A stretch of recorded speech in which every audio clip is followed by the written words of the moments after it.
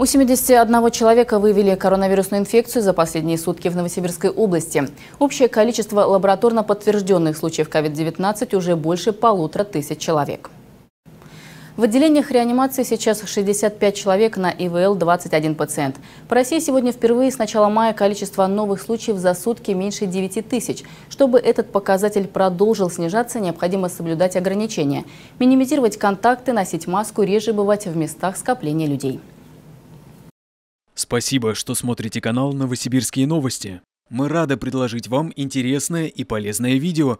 Если хотите оперативно получать информацию о жизни города, подписывайтесь на наш канал, жмите колокольчик, чтобы не пропустить последние новости.